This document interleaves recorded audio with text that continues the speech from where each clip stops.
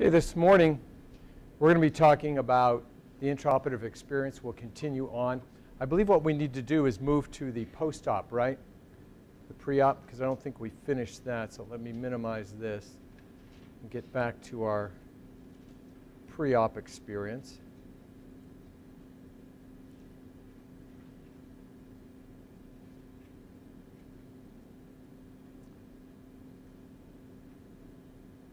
The, uh, just by way of announcements, there are um, the course evaluations where you evaluate this class are up and running. So make sure you go take care of that. Also remember the uh, final exam is on the 23rd. The exam 4 is on the 18th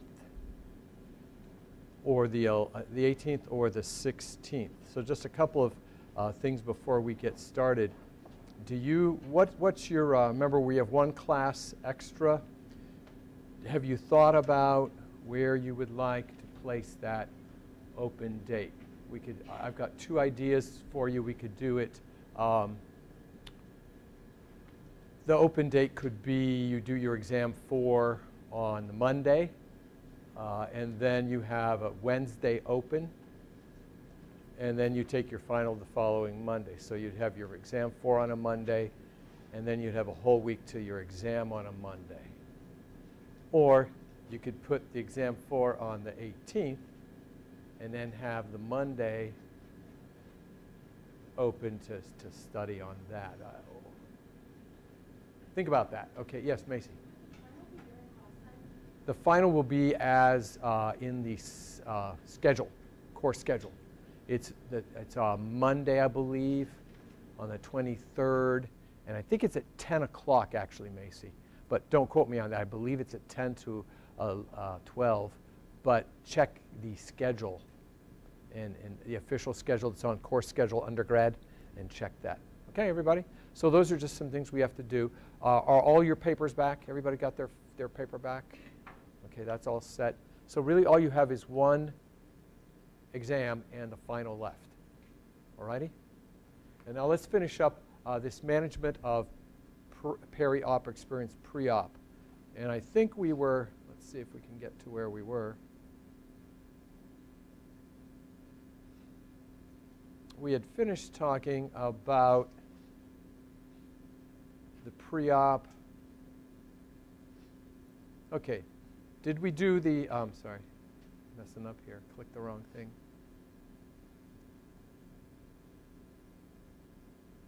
We talked about all these different complicated, different surgical histories. Did we get into the nursing history at all, the self-concept body image issues? I didn't think so. Okay, so let's talk, start there. Start.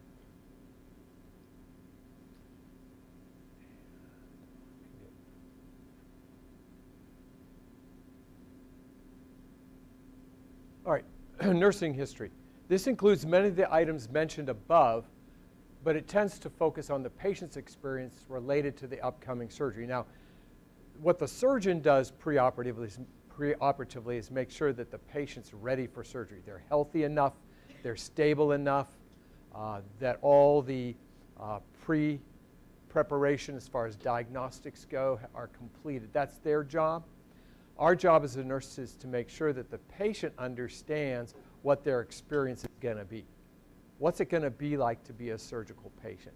So we try to assess that as uh, far as that goes. The first thing we assess a lot is self-concept issues because surgery can be life-changing, either for the better or for the worse. But surgery can change your life. And, and many, most people are having surgery for the purpose of changing their life. Like they've had pain and they want the pain gone, and surgery can do that. Or they've had problems with a particular organ functioning well, and they want it repaired so it can function well. Plastic surgery has a lot of expectations. So surgery has self-concept issues. Now, your self-concept, if you recall, is what you think about who you are. So your self-concept is the sum total of everything you think about yourself. Now, there are many surgeries that really impact self-concept issues. For example, imagine you're a baseball player and you're a pitcher and you're having surgery on your elbow, real common surgery. that if your whole concept of yourself is a professional athlete and they're doing surgery on your elbow that could end your career, that's a huge self-concept threat. So uh, for myself, as a teacher, if I had laryngeal surgery, surgery on my larynx, my vocal cords, that would be a major self-concept issue because it would go directly to whether I could perform my job or not. So a lot of people, when they're having surgery, not only face the physical stresses, but there are all these psychological things that come into play too. And a lot of times your patient's reacting to that. So while they may be having vocal cord surgery, they're responding in a very negative, angry, or quiet, or depressed way, and you're trying to figure out what's going on. It's because they're concerned about how the surgery is going to affect their self-concept. Will I be, be able to work? Will I be able to be employed? Can I be a father, a mother, a husband? Uh, will I be able to be a professional in my vocation? Will I be a healthy person anymore? Or will I forever be in, an invalid? So surgeries have a lot of self-concept issues, and you have to give people time to talk about those because they found through evidence base that the recovery period and the functionality of the patient after surgery has a lot to do with how well you've resolved their self-concept issues before. Uh, body image issues are a type of self-concept, but it relates specifically to how they view the body. One of the big surgeries, uh, some of the big surgeries that affect body image are amputations. If you have your knee, uh, your leg amputated below your knee for diabetic complications, that affects the way you view your body. Uh, breast cancer surgery certainly affects body image issues. Um, plastic surgery, a lot of those are body image issues. So you don't want to ignore those. If the nurse doesn't deal with these, I'm telling you, nobody else is going to deal with them. So it's either you or nobody. Because physicians, surgeons don't really spend the time talking on those because they assume we're going to be doing it. So we're part of a team. They assume we're going to be doing this. We assume they're going to be doing that. We work together.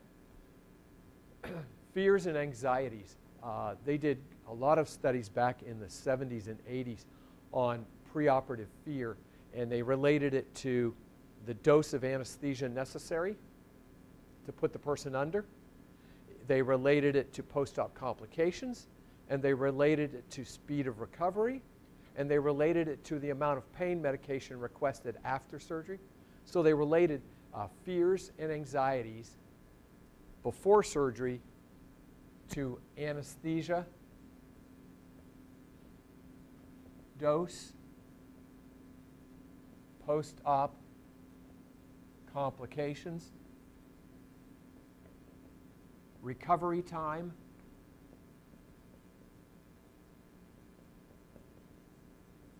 and pain medication after surgery. So these are four variables that they studied in relationship to patients dealing with their fears and anxieties before surgery. And they found that the anesthesia dose could be reduced by around 25%.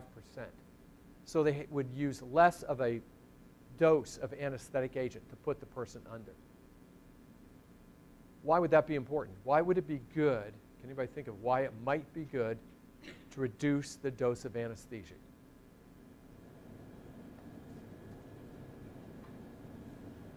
Any ideas? Martin, any ideas?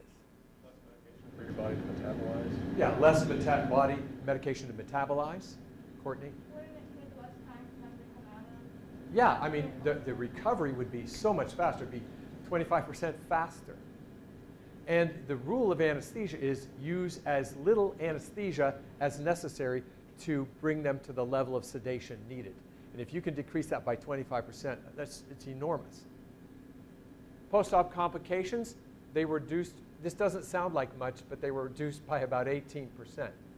But if you think about it, that's just fears and anxieties dealing with those and reducing those were correlated with reduction in post-op post-op complications in 18% of people. That's actually a lot. It doesn't sound like much, but it really is.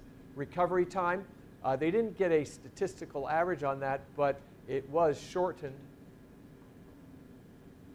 in most cases. And the pain med after surgery was the biggest thing, and that was it was reduced by about 30%. People asking for pain meds after surgery. Because we know that a person's emotional state and their anxiety directly relates to how they perceive pain. The more anxious and fearful you are, the more you relate to pain. Have you ever, maybe you're not old enough like me, you're definitely not as old as I am, but have you ever had a pain and you were worried about what it was? You thought, oh my goodness, is that in whatever that is? And so you got really upset about it and you took pain meds and it didn't work because you took more. But have you ever, ever had pain where you go, oh, that's just what happens to me after I run? And you don't even take a Tylenol. Does that make sense? What pain do you think I pay real close attention to and makes me really ang anxious? Chest pain. you know, my age, if I have chest pain, I'm scared. And then that makes, I take more pain, I take Tylenol, I, I start taking aspirin, you know, to anticoagulate myself, self-treat like we nurses do, you know. So uh, I get angry, anxious about that. But if I have a pain in my knee, I just figure I'm just old, you know, and so it doesn't, I don't care about it. So my anxiety about a heart attack makes me pay attention and stay up all night over a pain in the chest that I would rank as a 1 on a scale of 1 to 10. But I could have a 5 in my knee and not even take pain meds and I would sleep because of the anxiety and the nervousness about the implications of the pain itself. Well, that's exactly what's happening when you have post pre-op teaching. When patients understand their fears and their anxieties and they address them, then the pain after the surgery doesn't mean that negative interpretation that it would have had otherwise, and they request less pain medication. So it's really huge. It's an enormous thing. Does anyone happen to know what the number one fear related to surgery might be? Any ideas? What would people's, general public's number one fear related to surgery?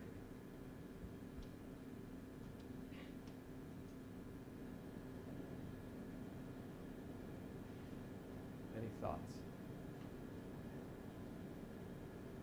Rebecca, anything you've got?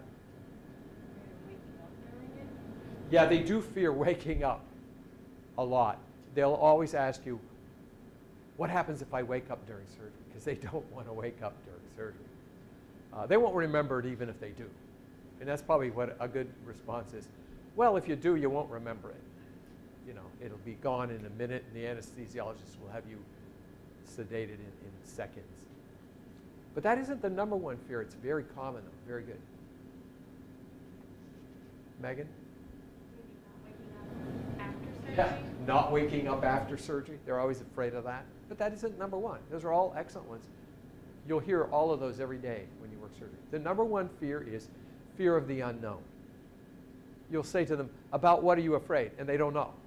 And you say, well, can you tell me exactly of what you're afraid? I, I don't, I'm not really sure. I'm just anxious. I'm just nervous. I, I think something will go wrong. What will go wrong? I don't know. They don't know what to expect. Now, here's the problem if they've never had surgery, they have a fear of the unknown because they don't know what's going to happen. If they've had surgery, their fears are going to be all the things that happen negatively with the first surgery, which may have nothing to do with the second surgery. So you're always going to have to deal with their fears. And we, the nurse, are the one who deals with the patient's fears. Now, how do you do it? You listen to them. Remember, active listening. Ask them about their fears. Ask them about their concerns. Do it over and over again because a lot of people, the first time you ask them, tell me your fears about this surgery, they'll say, oh, it's nothing. No, I'm not afraid. So then you ask them again. And they say, well, no, I'm, not really, really afraid. Well, are you anxious? Well, maybe a little anxious. What are you anxious about? Well, nothing really big. Oh, okay. Then you ask them a third time, uh, do you have any fears? What any fears or anxieties at this time about surgery? Well, well, you know, I am afraid about. And, and so you have to bring it up several times so they have permission to, excuse me, permission to talk about it. Uh, especially people that are very stoic, people who don't want to uh, admit that they're having any kind of symptoms, people who are very secretive, uh, people who are very private. Uh, you want to give them ample opportunities to talk about their fears and their concerns. Another thing you're, you're going to want to do is any complaints that they have or actual physical concerns. One of the things that uh, I experienced once, this one, this woman was extremely anxious before her gallbladder surgery, extremely anxious. Uh, every time I walked in the room, she was nervous, fidgeting. Her pulse was up, her respirations were up, and I could tell that she was going to need a lot of anesthesia to calm her down and put her under. She's going to be a very difficult case for anesthesia. And as a nurse, pre-op nurse, you'll, you'll learn to know what those behaviors are. You'll see that anxiety, tachycardia, uh, rapid shallow breathing, dilated pupils, nonsensical, repetitive motor movements. And you'll see those and you'll know that they're going to be a tough case to anesthetize. And you'll see that, so you want to go for what's the reason for that.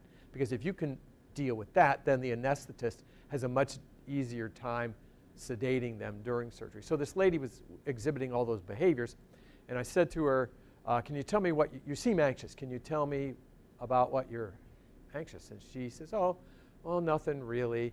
And I said, Well, what would be the worst thing that could happen from this surgery? And sometimes that's a good way to go and ask them, What's the worst thing that could happen? And she said, Well, I could die. And I said, Okay, got it. I said, What would be the second worst thing? And then she said something I had never heard, because at that time I'd been a nurse for 15 years. And she said, I'm afraid of my husband seeing me without my false teeth.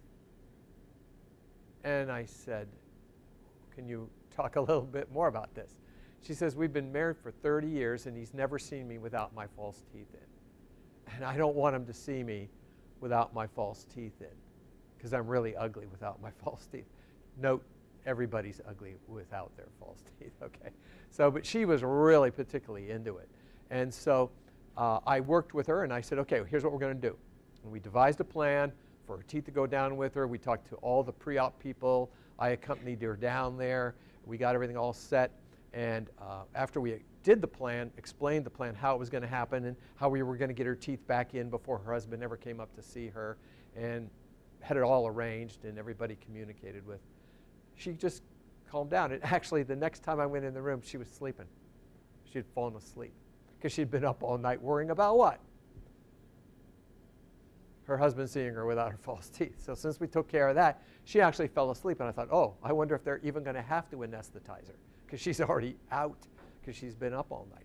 So that's what happens. And see, that's how a nurse makes a difference between things. And you say, well, that's, does that happen all the time? Well, not about false teeth, but it happens every day, all the time, with all kinds of patients in hospitals as nurses deal with them. So you really have to look at that. What are their concerns and their complaints? Look at their coping resources, how they dealt with stress before, because surgery is a stressor. A good way is just to ask them, how do you deal, have you ever had surgery before? Yes. How did you deal with it then? What were some issues that came up? Have you ever had surgery before? They say no. Then you start asking about accidents and uh, crises that have happened. How have you dealt with it before? Uh, their culture, a lot of different, uh, there's differences in cultural ways of dealing with pain. Uh, make sure that you look at their expectations. Expectations are huge. It will never cease to amaze you the expectations that patients have for surgeries. They think that their surgery is going to cure every problem they had. They think it's going to be the silver bullet that makes them able to run a 100 meter dash in 10 seconds when they couldn't even do it when they were 18. They just have super high expectations for surgery. What's the problem when expectations are not met? What do you think? You, what's the big danger of inappropriate expectations for operative patients? Any ideas? Disappointment, anger. Yeah, anger, disappointment. A lot of times they'll get so angry and disappointed they'll quit with the regimen. They'll just quit. Uh, one of the things that, if you have orthopedic surgery, one of the things is that gruesome rehabilitation situation. It just takes a long, long, long time. And you, when you're rehabbing joints, you have to stick with it for a long time. I'm talking months. But if you had expectations that you were going to get up and be able to walk without pain up and down stairs a day after surgery, and that was your expectation, when that does not happen, then you start quitting in the rehab because the rehab isn't living up to your expectations. And you have to make sure that their expectations are realistic. So you actually ask them, what do you expect from this surgery? What do you actually expect it to do for you? And you're going to find some very unrealistic expectations.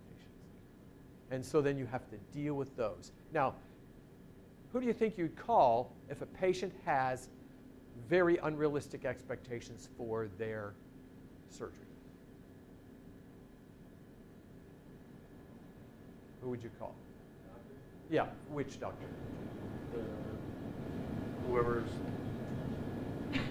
referring them to the surgery, I would think? Yeah, the surgeon, the main surgeon. Call the surgeon. Don't call the anesthesiologist. Don't, and in fact, it's not even your job to say, no, now, now, Jacob, I don't think those are realistic expectations. Most people will have this because I'm not doing your surgery. I didn't see your CAT scans, your MRIs. I don't know. And see, if I am not accurate, what have I just set up? A new set of false expectations for them. So you, the nurse, you don't, you assess that they have false expectations, but you do not correct them. It is the job of the surgeon to come up and correct them. Now, will the surgeon come up and correct them? Probably not, because the surgeon is probably busy, has a hundred other cases going on, so they will send their PA, their physician's assistant, or their, their resident, or their intern. But your job is to make sure that that person comes up and talks to these, this client before they go to surgery, and you document that that was done. In fact, I would even document what the unrealistic expectations are in the official medical record. Client says, I can't wait to ride my bike 10 miles next week after knee surgery. You see, that needs to be somewhere because that's totally unrealistic. The knowledge of the procedure, you ask them, tell me what is going to be done. In your own words, you tell me what is going to happen, what is the surgeon going to do, and why are they doing it. Because there again, many times you'll get very strange answers, very strange answers, because people misinterpret all the time.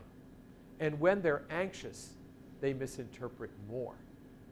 So the very fact that they're having surgery in the next 24 hours makes them not hear clearly. Have you ever been in a situation where you're really afraid, anxious, and nervous, and somebody's saying something, and all you hear is wah, wah, wah, wah, like Lucy, Charlie Brown's teacher, or everybody with face masks? That's all you hear. You can't hear anything.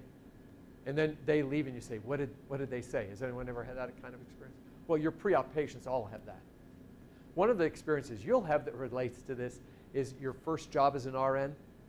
You'll call a physician, healthcare provider, and you'll ask them, you'll report, and they'll give you some orders over the telephone, and you'll repeat them back, and then you'll hang up, and guess what?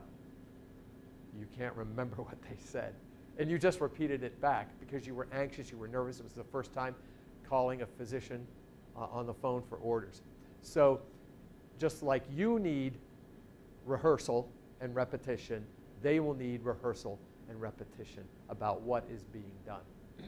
Now, if they tell you erroneous information about the surgery, and you go, whoa, that is not what is going to be done, then who do you call? The surgeon. Why do you not correct it yourself? Because you aren't the one doing the surgery, and you don't, you don't really even know exactly what's going to be done. You know generally what's going to be done, enough to know that their statement seemed false, but you then call the surgeon. You say, are you, I talked with Mr. Jones, this is what they said was being done. Is that the understanding you wish them to have? And they'll say no, and then they'll say, what, if, what would you do if they said this to you, Megan? Well, you go tell them that I'm going to do this, this, this, this, and this. What would you say, Megan? You know, I mean, the surgeon says to you, you're talking on the phone to the surgeon. and you tell them that the patient said this erroneous view of what was going to be done. And you know, and he says, the surgeon, the healthcare provider says, tell the patient that I'm going to do this, this, this, this, this, this. What would you, what do you think you should say? Maybe send a PA or intern to explain it in person to the patient. So if you got a question on an exam like that, how many in here would answer, tell the patient word for word what the doctor said? How many would pick that answer? Okay, you're not going to pick that answer. You're going to pick the answer that says what? Could you please have someone come in to explain the surgery to this person because the informed consent, and we're going to talk about that, is not valid now because they are ill-informed. Okay, so you've got to get the other person in there. Now, do healthcare providers that are surgeons, do they like to be called on the telephone with inter- no, because they're busy, they hate it. So just understand you're doing something they don't like. so that's why we earn the huge paycheck that we nurses get, choke. Um, but that's where we get our hazard pay. Okay, physical exam. So that's those are emotional, social things we assess, which are equally important. I put those first because I want you to not overlook them. Okay, the physical exam, what does the nurse do? Well, you look for any evidence of cardiac or pulmonary compromise. Why?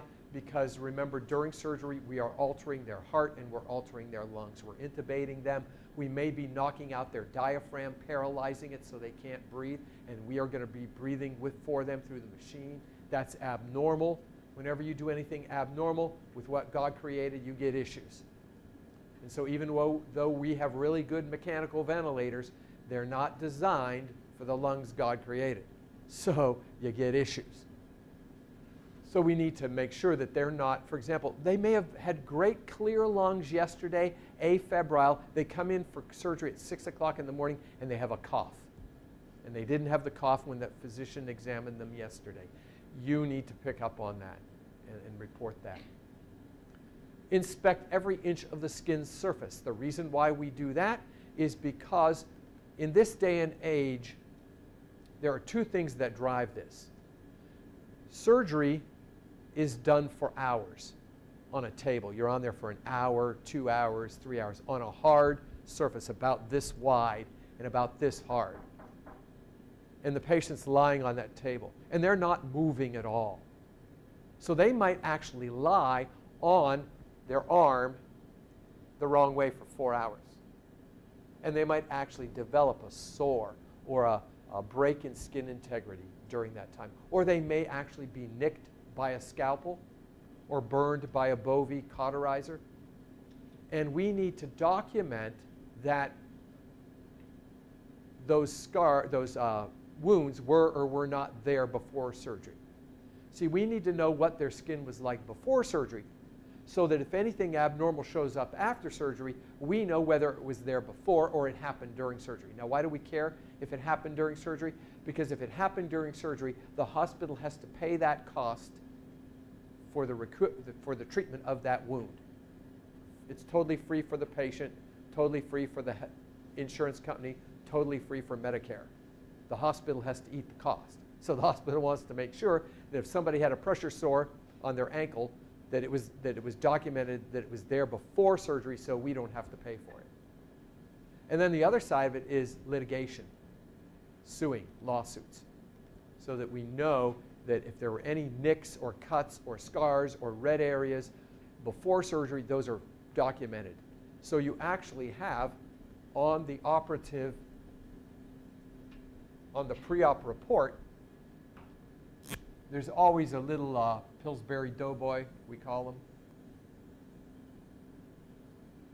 It's a little more anatomically correct than that, but it will say this is the front, and then they'll have another one with the back.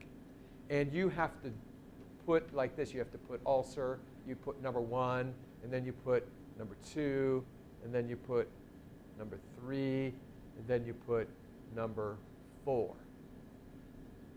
And you have to then in the nurse's notes in the document, document what number one is. And then you have to tell about number two, then number three, then number four. And you have to do, do you remember OLD CART, that acronym OLD CART? So you have to do all of that. You have to assess the location, the characters, the qualities, the, the, the size, the depth, any drainage, any aggravating, alleviating factors. You have to really describe it as, as uh, specifically and exactly as you can. All right, every single surface. All righty? So that takes some time. And for some people, you know, could you imagine if somebody's going to surgery to uh, correct a lung injury that was caused by a motorcycle accident where they laid the motorcycle accident down because a motorist wasn't looking and they slid 40 feet? Can you imagine all of the cuts and bruises and abrasions those people are going to have? you have to you have to account for all of that. And if somebody is having surgery after a burn, you have to account for all of those burns and everything. So this may take, I mean, at, at the extreme, it could take two nurses for a half hour. Two nurses working full time, a half an hour to document all of this. At the other extreme, it's a five minute check. But don't overlook it. Because I am guarantee you, the time you overlook it and you say, I've done this, I've done this assessment a hundred times and nobody's ever had anything of note or importance. So I think I'm just going to skip that right now. The day you decide to do that is going to be the patient that has a pre-surgical skin integrity issue. And, and, so don't ever do it. All right, um, examine the abdomen. Does anybody know why we want to know the bowel sounds and the, the firmness of the abdomen? Anybody know why we might want to know that before surgery? Yes, Laura. Paralysis, like after surgery? Yes, because surgery is a stressor, and stressors trigger the sympathetic nervous system. Remember that? And the sympathetic nervous system shuts down the bowel. So it decreases peristalsis, decreases GI secretion, and literally shuts your bowel down. So I want to know did they have bowel sounds before surgery so that if they don't have them after, I know it's a change? Or did they ha have them or not have them before? So we, I need a baseline, a baseline for parasympathetic uh, blockade. I think, Laura, that's what you were talking about, parasympathetic blockade after surgery. All right, um, assess neurostatus. Why? Well, you need a baseline. What if they have a stroke during surgery and you did not do a neuro assessment before? Do you see how dangerous that is? I remember one nurse got all upset about a patient she had. I, I was working with her. The patient came back from PACU, and the patient couldn't talk well. She was very dysarthric. And the nurse was all upset. And so I happened to uh, see the family member walking in. And so I talked to the family member. And I said, you know, he's dysarthric. And they said, yeah, he's been dysarthric for 10 years after a previous stroke. So, I mean, she was all freaking out because this patient had, was having a difficulty speaking after the surgery, and it was a 10-year-old problem. So make sure that you know those, neurostatus. Now, what's the best way to do a neurostatus exam?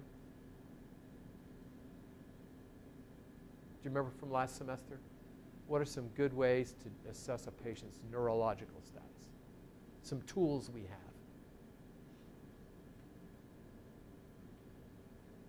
Orientation. Okay, orientation. But think of a scale. Is there a scale, Gerard, that we could use? Have you heard of the Glasgow Coma? How many have heard of the Glasgow Coma Scale? Okay, there we go. Glasgow Coma Scale, remember it measures best eye response, best verbal response, best motor response. Okay, and you get a score. Does anybody know what, what's the max score on a Glasgow Coma scale? 15. What's the lowest score? 3. You get a 1 on everything. Okay. So wouldn't it be nice to have a Glasgow Coma scale on every patient before surgery? Then you could compare it afterward. Alrighty? So Gerard, you're absolutely correct about orientation, but see, a Glasgow Coma scale score would be much more uh, comprehensive, and it gives us a nice numerical comparison. Immediately after surgery, what do you think people's Glasgow coma scales might be? Can you give me a number? Abigail? Anybody? Yeah, it would be between four and six. Why would I say six and lower? Does anybody know why I might say six and lower? What's the significance of six on a Glasgow coma? What's the last word of that scale? Uh, uh, not the second word.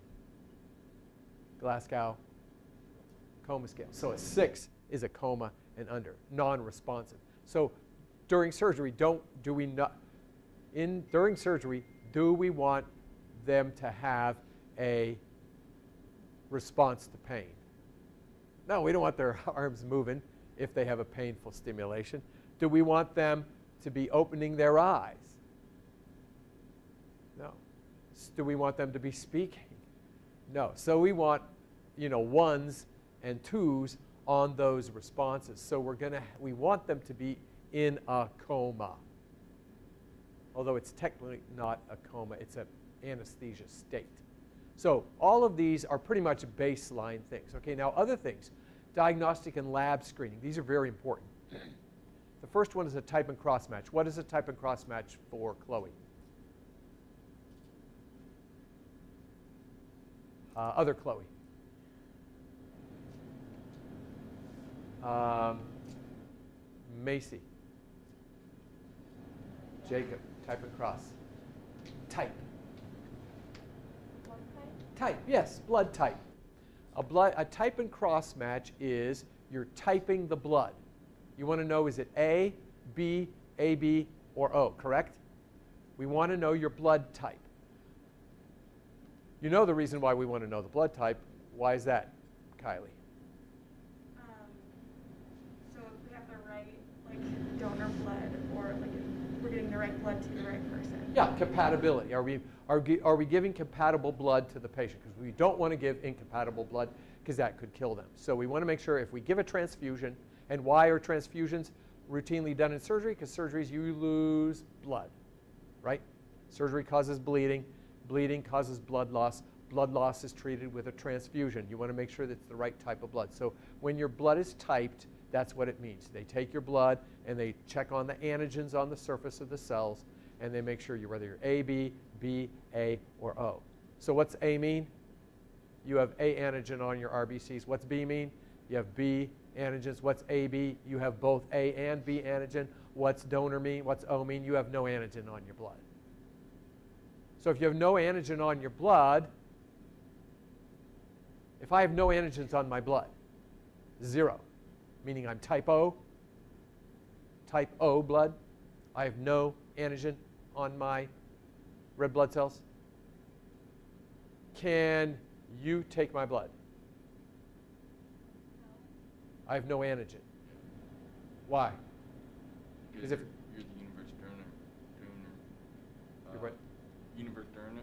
donor. Donor. We're a Yeah. universe donor because if I don't have antigen, what are we worried about with blood? Incompatibilities, right? Incompatible. Incompatibilities means there's an antigen antibody reaction. So that incompatibility is an antigen antibody reaction. Antigen antibody reaction, incompatibility, clumping, patient dies. Okay? If you've got no antigen, can the antibodies in their body have a reaction to anything?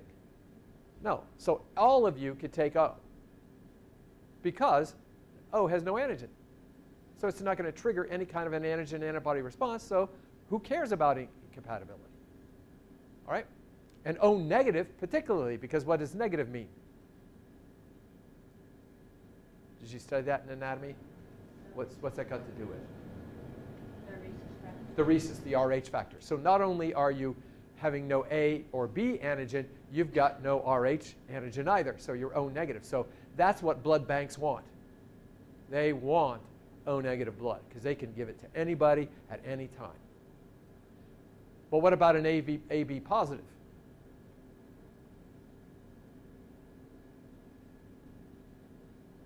They can only get, wait, no. AB positive can get any blood. Because if they're A, do you understand this? A person has no antigens to what they have because you're not going to be allergic to yourself. So if you have A, you're not going to have A antigen. If you have B, you're not going to have B antigen. And if you have RH, you're not going to have RH antigen. So A, B, positive, you have no antigen. So if I put antibody in you, you've got no antigen. I mean, put this way. This is antigen. this is antibody. Okay, got it? Okay. Uh, with AB, I've got no antibodies. So I can put any antigen into you I want, and you will not have a reaction. O blood, O people have no antigen. You see, so they don't have any antigen. So they they're they're not going to trigger an antibody in anybody else. So O is a universal donor and a AB positive is a universal recipient. So how many of you in here have AB positive? How many don't know what type you are? It's probably good as a nurse to get that done, uh, just for fun, just well, just to know. Uh, is it so? Nobody is AB positive. Anybody A? B? O? Okay, yeah. so we O's are the donors.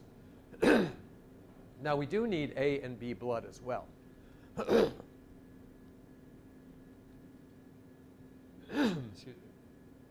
Now that's a type. Does anybody know what a cross match might be? Anybody at all have know what a cross match is? Because this will be on the next exam. Cross match. Okay, what they do is let's say that I'm an O negative blood and I donated, so the unit of blood is O negative, and Colton is A positive. Colton can get my blood, can't he? because there's no antigen in my in the blood, my blood to for his antibodies to react to. Got it? So just because we our types seem to be compatible, the healthcare industry wants to be sure. So what they do is they take a little bit of Colton's blood and a little bit of my blood and they mix it together in a test tube to see if there is any agglutination or clumping. Making sense? just, as a, just to make sure. Theoretically, Colton should have no trouble with my O blood. Shouldn't have a problem at all. But just because things are true in theory doesn't mean they're always true in real life. Because maybe there's some other antigen that we're not looking for in my blood that would trigger a reaction in Colton. Maybe there's a C or a D or an E or an F that we don't even know about. So uh, we will do a cross match, a type and cross match. Now, that type and cross match is only good for 48 hours, and you want to write that down. A type and cross match is only good for 48 hours. And you say, well, why is that? Are their blood types going to change? Is their antigen antibody status going to change? No. No. That, if, if Colton's type and cross match says my blood is a good blood for him to donate, to give to him, then it's always going to be true. It doesn't, my, his status in antibodies, antibodies doesn't change. My antigen status doesn't change. The reason why it's good for only 48 hours is blood banks don't like to tie up a unit of blood for longer than 48 hours. Because once we do the type and cross match, the blood bank actually pulls two units of O blood out of their blood bank and puts it in a reserve refrigerator for Colton. So no one can touch that blood except Colton for 48 hours.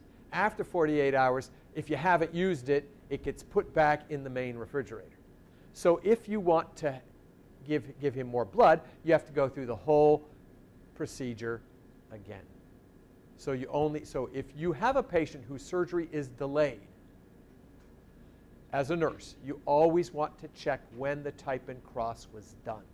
Because the last thing you want to do is check off that they have a type and cross match done, but it's so old that it doesn't apply anymore. So when the guy starts bleeding on the table and they call for the blood in the blood bank, what's going to happen? There won't be any blood available. So that's a big thing for you to do. And it really is your job. That's one of the things that nurses make sure is done. Okay, an EKG for those over 40, we talked about this before. Anybody over 40, I don't care if they have no history of health, uh, heart disease, they're going to have an EKG done. Uh, CXR, that means chest x-ray. We want to make sure that their lungs are clear. Anybody with a cold or bronchitis or pneumonia is a high risk for surgery, and we might even cancel it until they get a round of antibiotics. So you want a chest x-ray. A complete blood count is the next one, CBC. Complete blood count. Now this has three parts, and this is something for you to remember. I think we talked about it a little bit before, but I want to make sure you guys don't go into your junior year not knowing CBCs are comprised of three major things. A white cell evaluation, a red cell evaluation, and a platelet evaluation. Whites, reds, platelets. Whites, reds, platelets.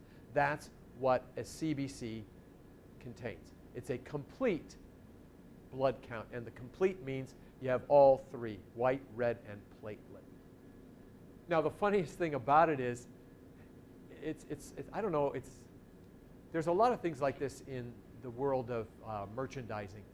It's actually cheaper for the patient to have a CBC done, complete blood count, when you need a platelet count. All you need is their platelet count.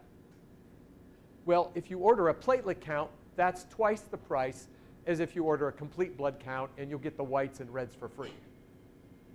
I don't, I don't understand that, but I suppose some of you that had marketing experience would understand it. So we do a lot of CBCs even though we may not need all of them. Okay, what do the whites check for? Real quickly, what do the whites assess for? Inflammation and infection. So we don't want to do surgery on people with active infections. So how do we rule that out? The white count. So we want the white count to be under 11,000 per cubic millimeter. Remember that, 11,000?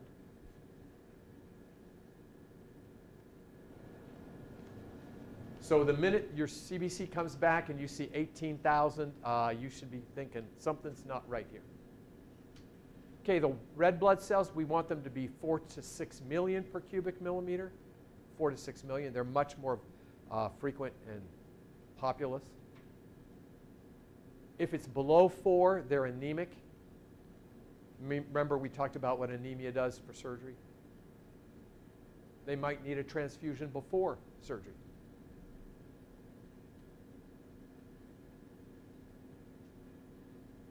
And platelets have to do with clotting, correct? Platelets have to do with clotting. What role do platelets play in clotting? Michaela, do you know the role that platelets play in clotting? Um, they help like aggregate. They aggregate. Okay, and when they aggregate, that means to clump. And when they clump, they form a barrier. Now, what role does fibrin and fibrinogen and thrombin and prothrombin play in clotting?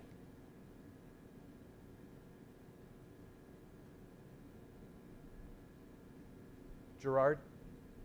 Uh, they come along later after the after the platelet clot. The thrombin does. The thrombin does, but the fibrin comes before. Fibrin comes before, platelets, then thrombin. And he, Gerard says they, they sort of consolidate the clot. That's what thrombin does. Does anybody know what fibrin does? Fibrin makes a mesh. Have you heard the fibrin mesh? How many have heard that phrase, the fibrin mesh? Okay, so what happens is when you have a, a bleeding area in a blood vessel, the fibrin comes in and it makes a mesh over the area that's broken. Like if you lacerate an artery, it will make a mesh over the cut areas. Okay, so that's the mesh. And a platelet is about, let's say, let's say a platelet's about that size. So if you had a blood vessel right here that was, that's the hole, that's the opening. Do you see the platelet would not, it would just go right on through. But the fibrin, the fibrin mesh turns this into that. So you, what you do is you build sort of like a spider web across the hole. And then when the platelets come, instead of just passing right on through, they would clot there. They would get stuck like a fly on a spider web. And then another plate would come along and get caught there, and another platelet would get caught there, and another plate would get caught, caught there.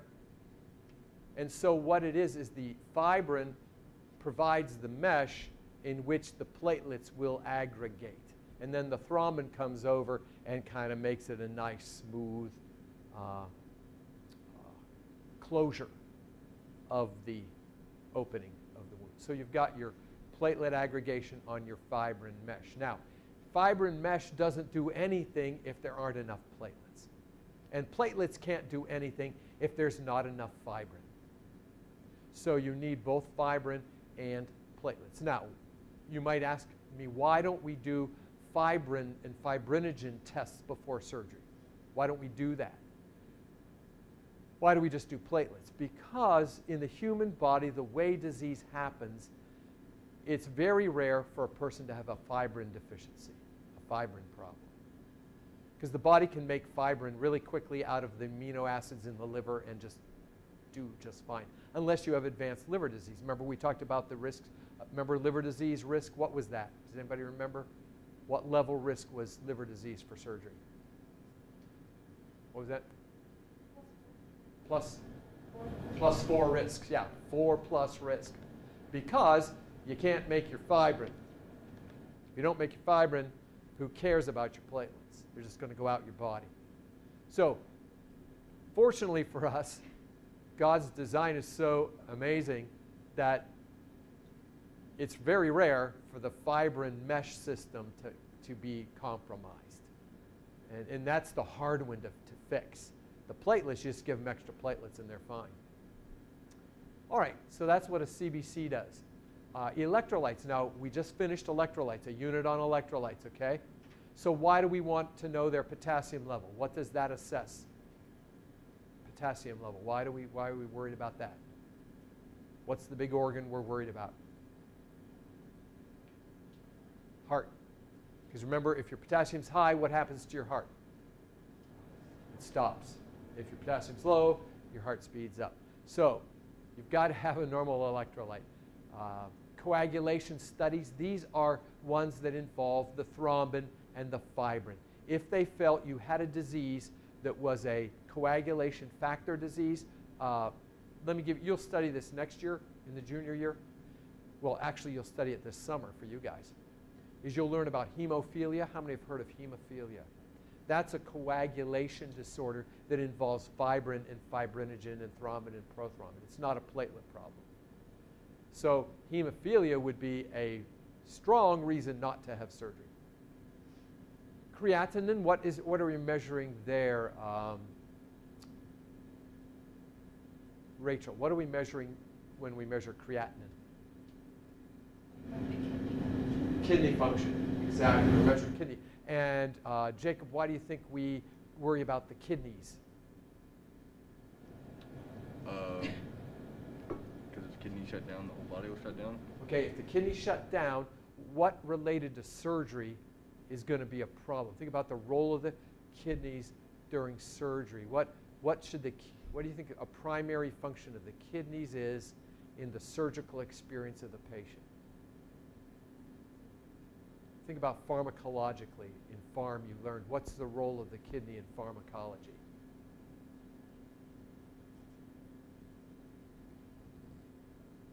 Rebecca? Excreting, yeah, which is probably too obvious. Whenever I ask a question of the obvious answer, it's always the hardest one. Yeah, because so if you have a kidney problem, are you going to excrete the anesthetic agent? No. So if you don't excrete the anesthetic agent, it's going to stay active for a longer period of time, and they're going to come out of the anesthesia a lot slower. It might be hours till they become alert. So you've got to have a good kidney to excrete the anesthetic agent.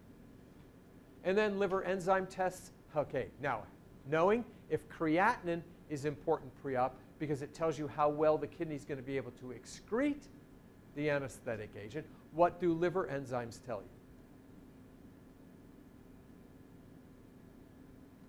Rebecca. Yes. how well is the patient going to be able to metabolize the anesthetic agent.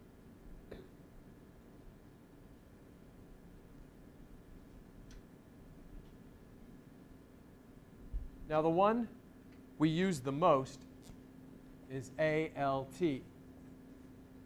It's uh,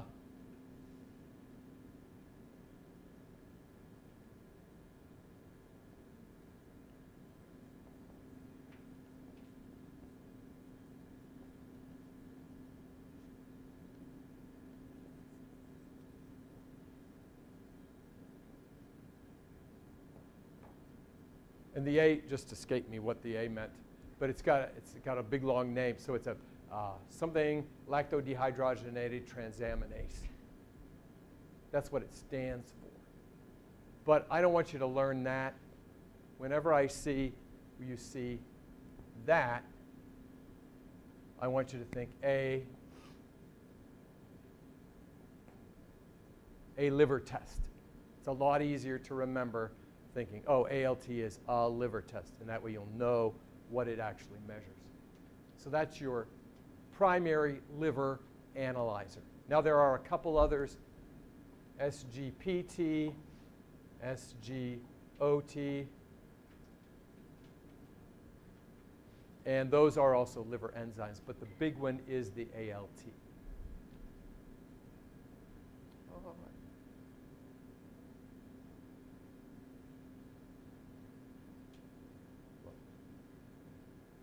Let's talk about physical and emotional preparation.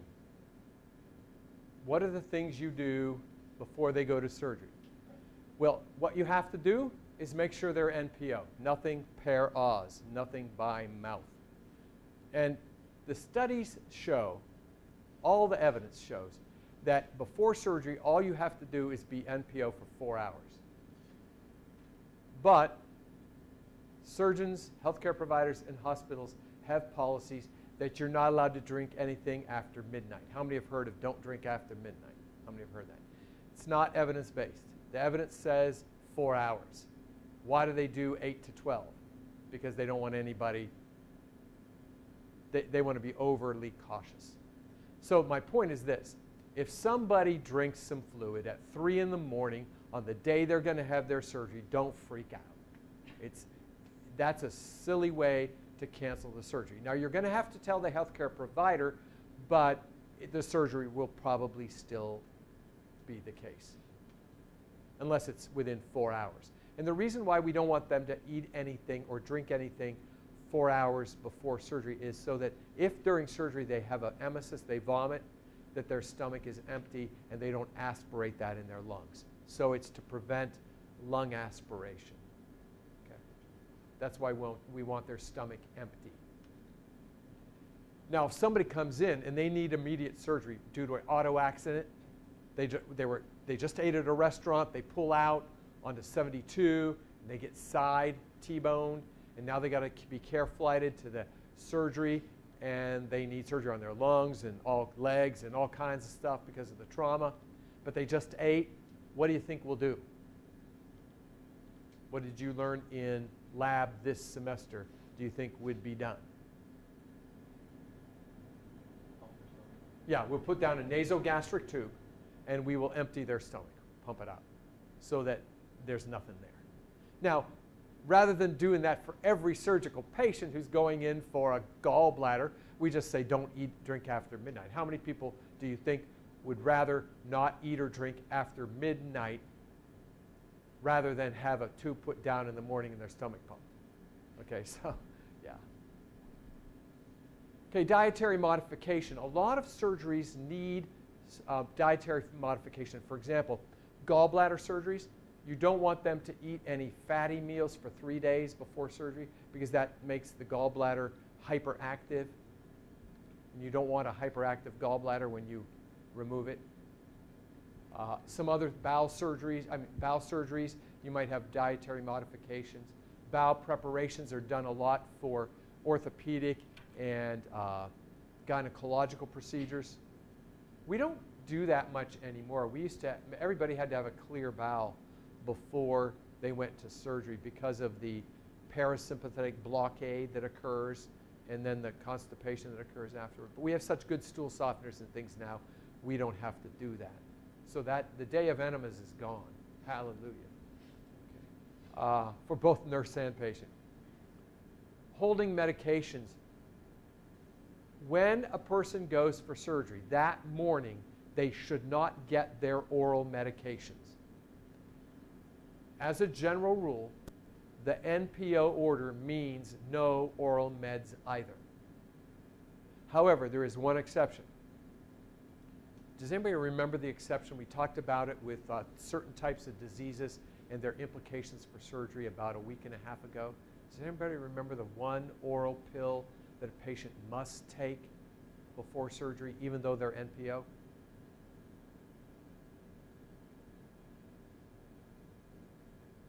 For one extra credit point on an exam, is anybody willing to risk, risk a guess? Yes, Rebecca? Thyroid, exactly. Thyroid pills. Okay. Thyroid pills. And we could generalize that, Rebecca, to say hormones. Anytime it's a hormone preparation, they should have those before surgery. But all your other meds, your heart meds, your lung meds, your gut meds, your pain meds, all of those meds, your arthritis meds, they're all stopped the morning of surgery, but your hormone meds should be given. Yes, Courtney. That include like birth control? See, that, that's the thing. She asked, what about people that are on birth control? Because, I mean, they're, you know, you're talking about millions taking birth control daily, and they're going for surgery. The, the thought is because birth control does affect clotting, that we don't want to throw that off. So many healthcare provider, surgical healthcare providers, want them to take their birth control the morning of because they don't want that clotting situation to be thrown off. They want it to be stable. Now, the reality is, is many of the people taking daily birth control pills. Now, I am not an expert on this, so I don't really know. I'm talking from ignorance, but there are most of the pills at a certain period are all dummy, dummies. They don't they don't contain anything. They're just there so the person takes it daily. You know, those are just fine to take. So since the chances that they would have an active ingredient that would be problematic during surgery is so low, they'll just say, take that pill. And it's very tiny, it's very small, it's not a big deal. Okay. So, um, but some surgeons say, no, I don't want them taking it. So that's going to be what I would call a surgical preference. Whereas the thyroid, every surgeon is going to do that. All right, uh, let's see administering medications. So we hold their routine meds. The meds they usually get, we hold them. However, there are some preoperative medications we give to everybody, and they're usually intramuscular or IV. Nowadays, they're IV. They're even getting to be where they're fluid oral. How many have seen pre-op patients given a little medicine cup of fluid or uh, liquid oral meds to take? How many have seen that? That's the big new thing now. As long as it's under one ounce, they don't care. But uh, intra, intravenous injection. And I want you to write down the three meds that we give. I want you to write down the three medications we give.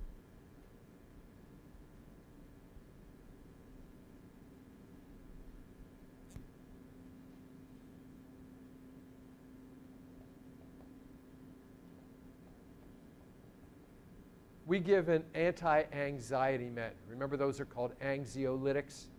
Angzy for anxiety, lytic meaning breakdown, anxiolytic, breaking down anxiety, anti-anxiety meds.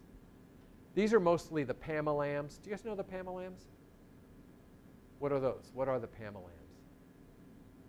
Anybody know the class? Benzodiazepines, is that familiar? Alprazolam, diazepam, flurazepam, clorazepam, these are anti-anxiety meds. Now, why would we give an anti-anxiety med pre-op? I talked about it a little bit in the first hour. Why would I give an ant? What's that? Yes, because if they're less anxious when they go to the operating suite and the anesthesiologist goes to anesthetize them, it's going to take a much lower dose, 25% less anesthesia, if you use the anxiolytic benzodiazepine beforehand. Okay?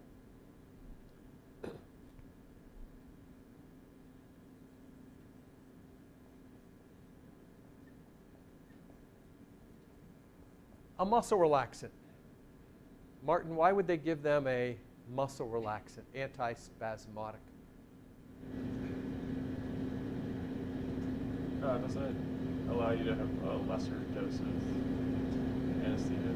Because what is a major muscle, skeletal kind of muscle, that would relax better having this drug that's of concern during surgery? Thinking about ventilating the patient more easily. Oh. Your, What? uh, diaphragm. Your diaphragm, right. So if we relax the diaphragm, it doesn't it make sense when that diaphragm is nice and relaxed, it's easier for the mechanical ventilator to inflate and deflate their lungs rather than if that diaphragm is all tensed up. So if you give the muscle relaxant before the surgery, the lungs are what we call more compliant. Does that make sense? More compliant to the ventilator. So you'll have to use lower volume, tidal volumes and rates to get better oxygen control. So that muscle relaxant is very, very important. And lastly,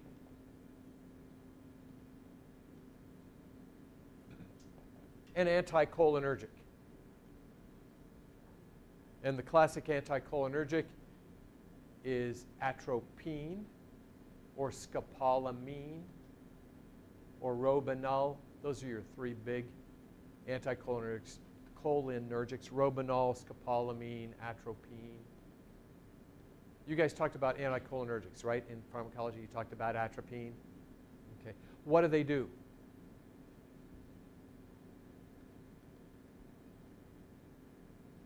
Anticholinergic. What does cholinergic mean? Courtney, what's cholinergic mean? That it triggers the parasympathetic. Parasympathetic. So cholinergic equals parasympathetic. What does anti mean? Works against.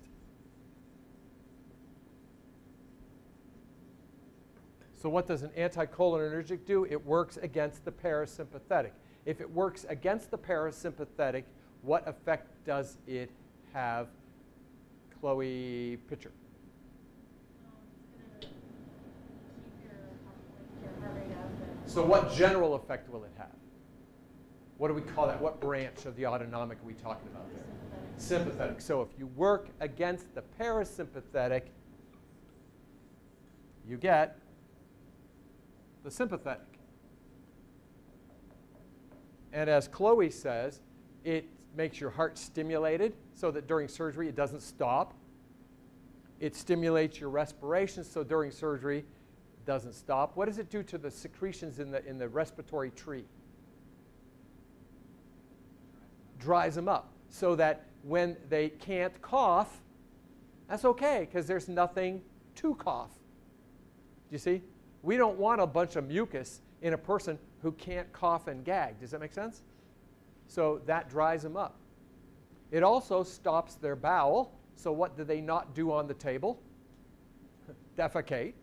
And it stops their bladder. So what do they not do on the table? Urinate. Now they will have a Foley catheter in, yes, guaranteed.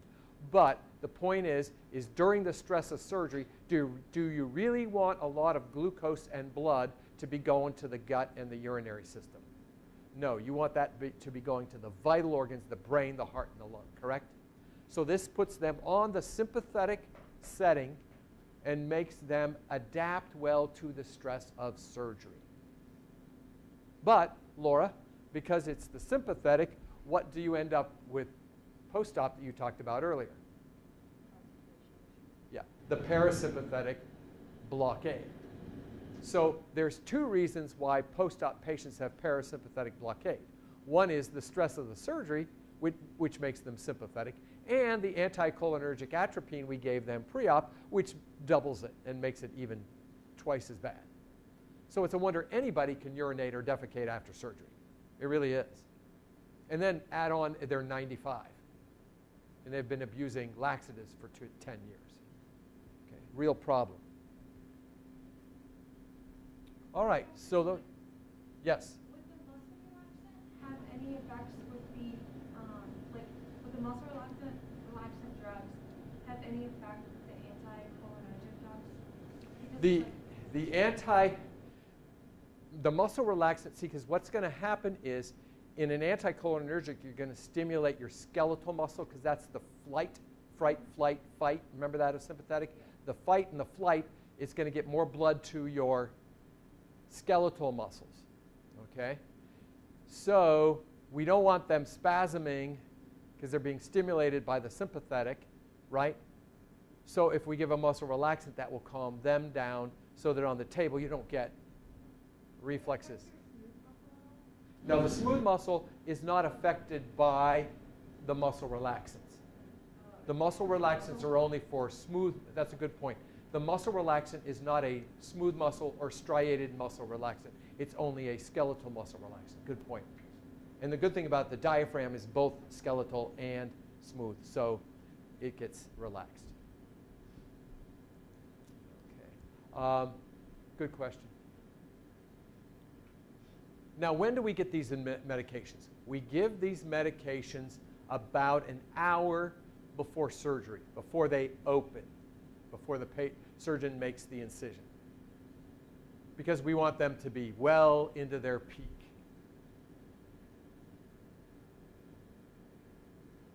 So you do not give, in the morning of the surgery, you do not give these medications until the operating room calls you and tells you, give the meds.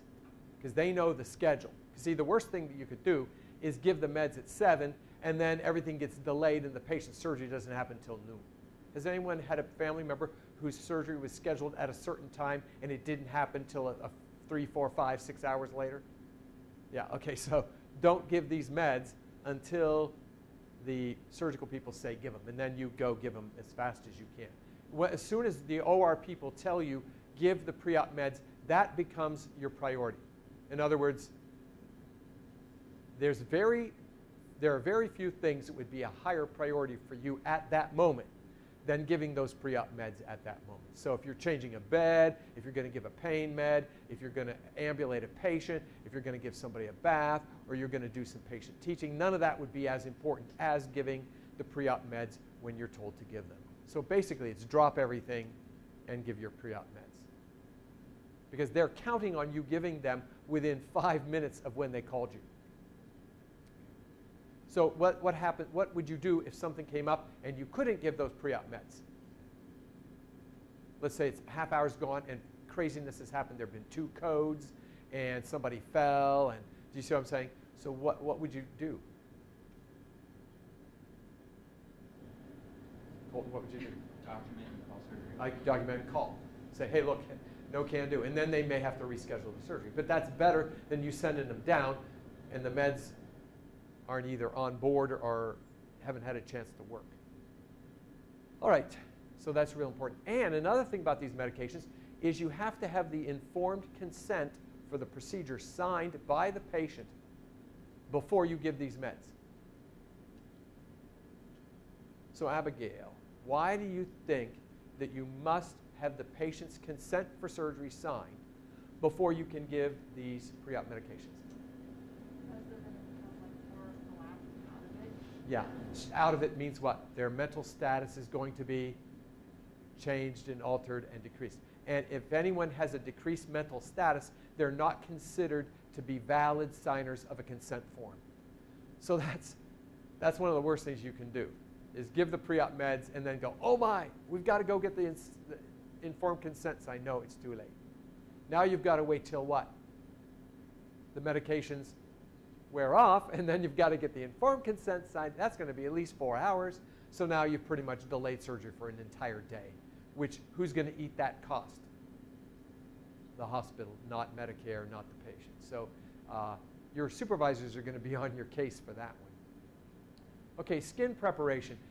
Good news, guys. We used to have to shave people a lot because hair uh, has no, been known to harbor microorganisms and increase post-op infections in an area. If, if there's an incision here and there's hair near it, that increases the post-op infections. So we want that area of surgery hair-free.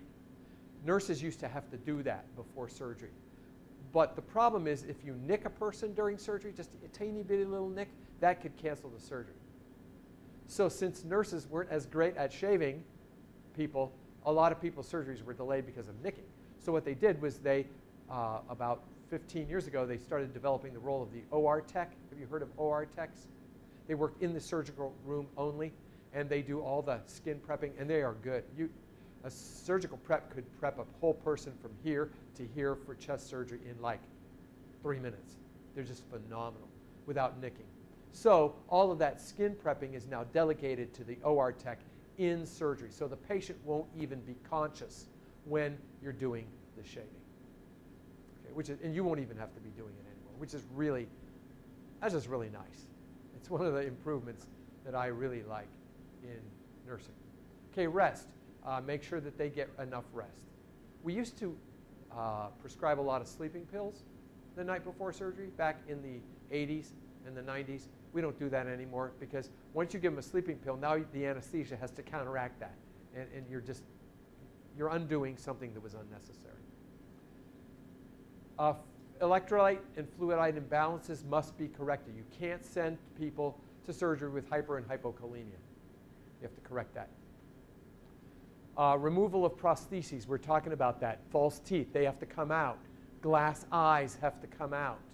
Um, artificial limbs have to come off. Anything that can be removed should be removed. Now, you don't have to go after the pins in their hip replacement. You know, that would be a little overzealous. So you don't go, just the prosthetics you remove. Now, the big thing is make sure you document with two staff where they are and you put them under lock and key. And a lot of times you call security and have them deal with it because there's nothing worse than you losing a patient's prosthesis. I mean, it's just, you, you don't want to live through that. That is not a pleasant experience. Okay, and then there are vital signs, because remember, we're checking to see for stability. all right, those are all things that we do before surgery. And most of those are done in the hours before. Emotional preparation may include listening to fears, we talked about that, and addressing concerns, we talked about that. Last topic I want to talk about today in pre-op is education of the client. And then we're done, we're finished. Teach what will be done in surgery and what will be expected after surgery. If you say, I don't know what to teach, Mark, I don't know what to teach, here's what you teach teach what will be done in surgery and what will be expected after surgery. Two things. What are they going to do? And then what do I need to do afterward? It is really bad practice to teach patients what they need to do after surgery, after surgery. Because after surgery, now they're in pain, they're uncomfortable, uh, their, their mind is altered because of the anesthetic agent, and you're trying to teach them what they need to do. No, that should have been done, should have been done beforehand. So all you have to do afterward is say, now remember how we talked about this. Now let's do this breathing machine here, and I want you to breathe in. Now I want you to blow out, you know, that kind of thing. Now is the time to teach any exercises or any protocols that the patient will be expected to perform post-operatively. The teaching should focus on what the patient will experience, that goes in the blank, what the patient will experience and what they are expected to do. Experience and action. Experience and action. Experiencing and doing. Those are the most helpful information. They did a study back in the 90s and it was corroborated in the 2000s with what pre op teaching results in the best outcomes. And it was about what the patient will experience and what they will do. Teaching about what is going to happen is not as important. Like teaching Kylie about what we're going to do during brain surgery is not that helpful to the patient. But teaching her that when she comes out of surgery, she's not going to be able to see anything for a day. Don't you think that's important for her to know? Because if she didn't know that and she knew exactly what was going to happen during surgery, she knew exactly what was going to happen during surgery, But when she came out of surgery, she didn't know she was going to be blind for 24 hours. Or versus, you knew you were going to be blind for 24 hours, but you didn't know what was going to happen when they did the surgery. Which one would you rather know? If you could only know one details about the surgery or that you weren't going to be able to see for 24 hours. I think it's the, the experience. Uh, knowing that you're going to be hot, that you're going to be flushed, that you're going to be sweating, that you're going to have throbbing pain, that you're not going to be able to move your toes, that you're not going to be able to, to walk, that you're, all these things, the impact of, their, of the surgery on their experience is what's important. How many tubes are they going to have? What are they going to look like? They're going to wake up in the ICU maybe. What sounds will they hear? They're going to wake up in, their, in the, this room. See, they need to know, are we wake, am I going to wake up in this room right now? Or am I going to wake up in some other room? Because if they were told, if they weren't told you were going to wake up in ICU, they'll probably assume they're going to wake up where? In their room. That's what people would assume. I'm waking up in my room. So when they're not in their room, what do they think? What would you think if you thought something something's going on, something wrong happened, and then what happens to the anxiety? Then what happens to the post-op experience in this boom?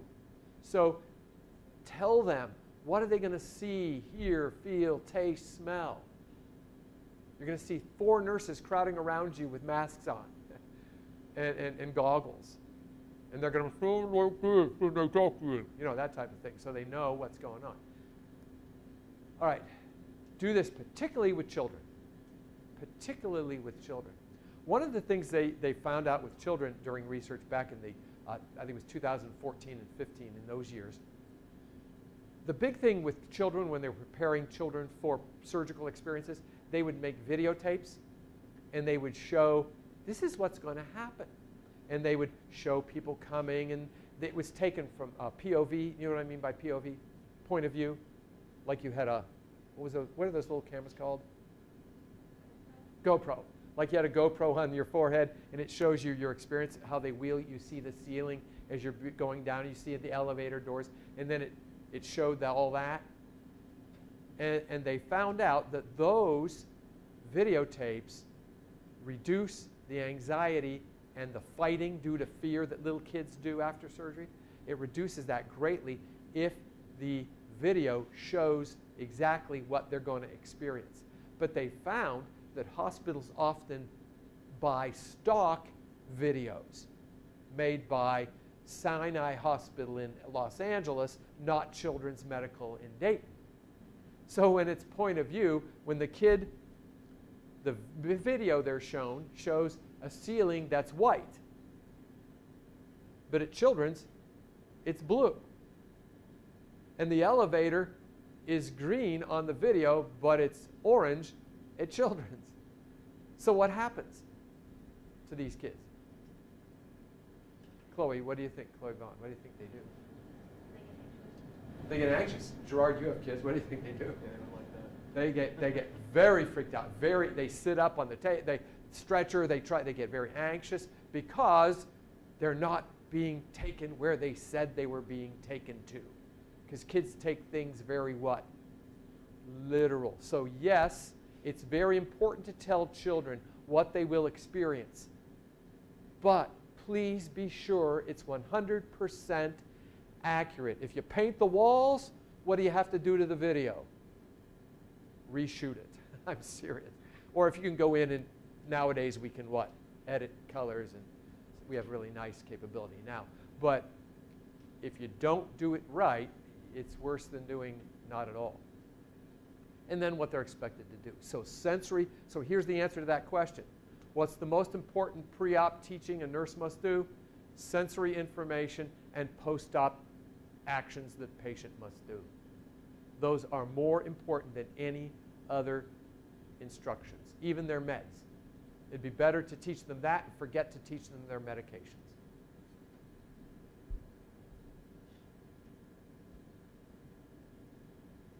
And we have five minutes left, and we got about five minutes stuff here, so we'll finish up. The immediate pre-op sequence. Now, all those things I told you, all of those things I told you, how does it play out? The one thing I did not tell you about was the informed consent. And I want you to write this in informed consent. And it is a document that says, I, the patient, and they sign their name, agree for Dr. So and so, and the name goes in there, and associates to do the following procedure on me, and they fill in the procedure, on this date, and they fill in the date. So an informed consent has to have at least four things in it the informed the doctor's name, the patient's name, the surgical name, and the date.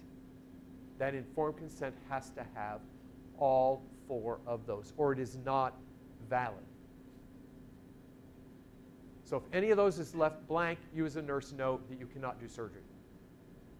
Those have to be filled in. Now, informed consent means that the patient was informed about the surgery, the surgeon, the date, and what was going to happen. And then th- that's their information, and then their signature is the consent. They're signing to more than just consenting, it's an informed consent. Now, if you assess that the patient gave consent but they're not informed, do you hear what I said? If the patient gives consent but they're not informed, you call the surgeon and the surgeon must inform them. You do not inform them. Then you have them sign it again and you witness their signature. Now you will sign the informed consent, but your signature, and get this is a big thing I test on because it's so important. Your signature, a nurse's signature on an informed consent does not mean that you informed the patient. And it does not mean that you witnessed the informing. What it means is you witnessed them signing the form. So you're like a notary public. You're signing and validating that it was indeed the patient that signed the consent, not someone else. So all your signature is is a witness, and that's the important word, a witness that the patient themselves signed it. That's what your signature means. Now, that must be done at a specific time, informed consent. Now, if they're a minor, the parents do. If they're an emancipa- emancipated minor, they do. Okay, so here's the, here's the immediate pre-op sequence.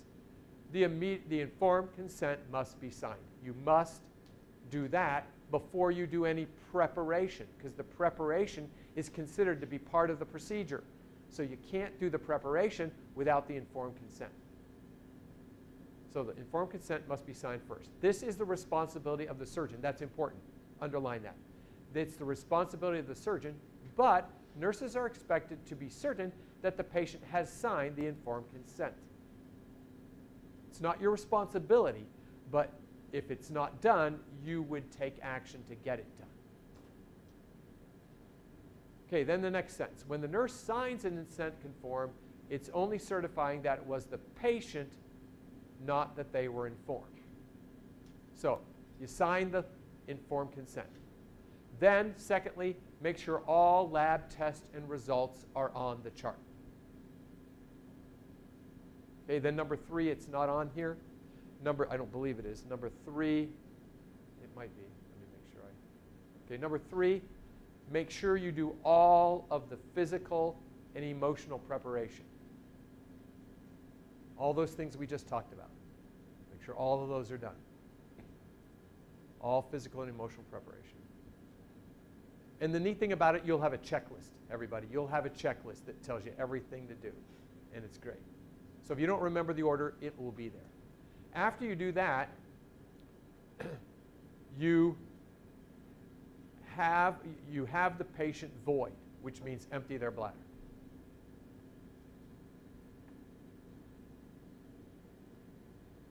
Number five, you give them their pre-op medications, those pre-op meds that I talked about. Number five.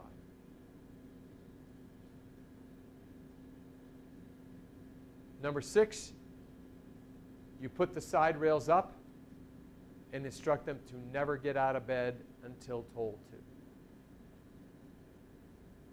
That's why you want to have them void. You see, you don't want to have them, you don't want to give them medications and then have them get up and void because they could fall due to the, the benzodiazepine. So it's void, meds, side rails up, and then they stay in bed and await transport to the operating room. Alrighty?